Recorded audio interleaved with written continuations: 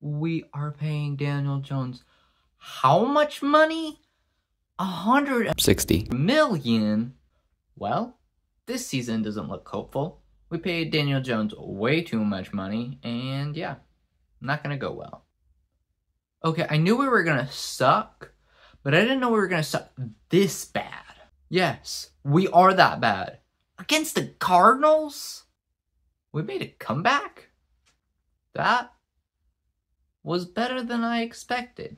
Still a loss though. Why is Jones paid this much to play like this? I bet our backup could play better than that. Well, looks like our backup will get a chance. Is he okay? Wow. Tyrod Taylor isn't actually that bad. Now if only Daniel Jones could make me feel that way. You know what? Never mind Daniel Jones. You just stay on the bench. You don't need to prove me. Just put Tyrod back in there and we don't ever have to see you again. Tyrod's hurt too now?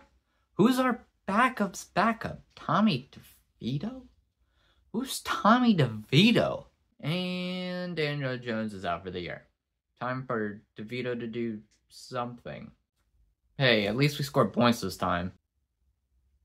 That was the best Giants game I've seen all year. It's pretty low bar, but that was the best game. Our defense looked good. Our offense looked good. Like Saquon, he looked pretty good. And Tommy DeVito, he might actually be something. I'm thinking I'm starting to like this Tommy DeVito guy. It may be ugly, but a win is a win. Okay, so this season is weird. It's not gone great, but we're still in the playoff hunt. We're still in it. There's a chance for us to make the playoffs, boys. We have a genuine shot at making the playoffs. We just got to win all our games. Who do we play? Eagles twice, Saints, Rams. Is it hope? Maybe.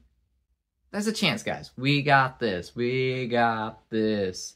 Tommy DeVito will take us all the way. Tommy DeVito? What happened? You were supposed to take us all the way. Not all the way down to the bikini bottom.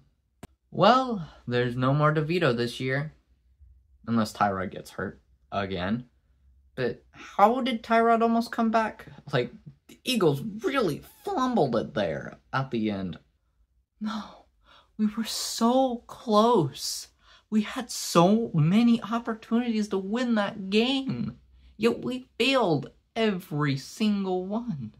Woo. Oh, the Eagles are bad. Oh, they're real bad. They ain't making out of that first round. This is better than making the playoffs. It's not, but it's so amazing. The Cowboys got crushed by the Green Bay Packers, and the Eagles looked awful against the Tampa Bay Buccaneers. Baker Mayfield. Well, we had hope for a while in the season, more than I expected, but it wasn't even from our starting quarterback. Or really anyone, but the backup quarterbacks. Those are what gave us hope in the year. But, and Daniel Jones is still on that massive contract. But maybe, just maybe, there's hope for next year.